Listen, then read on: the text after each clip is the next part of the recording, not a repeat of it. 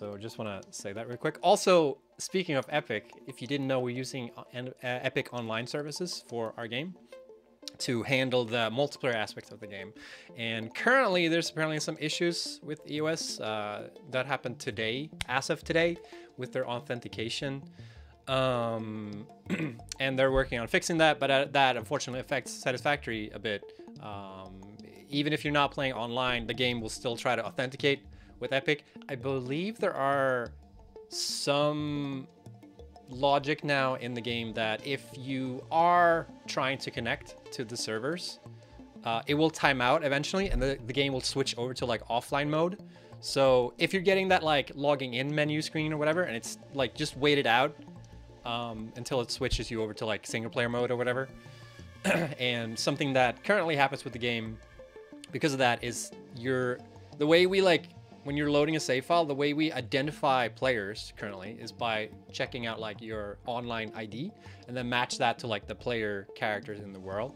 And if you're playing offline, then it has no one to like connect it to because uh, we don't track like your last logged in player or something like that. Uh, so it won't know what to do and it will just spawn a new player character. And don't worry, like nothing's broken. That's by design. Uh, so far, we're going to change that at some point. Uh, but that's the way it's been done up to now because the game has been made for multiplayer essentially. Um, all you need to do is just find your body and just pet it like you'd pet a lizard doggo, right? And then just loot your um, your uh, your equipment from from the loot box that spawns once you've been petting your character too much. Um, and you can just keep playing it as usual.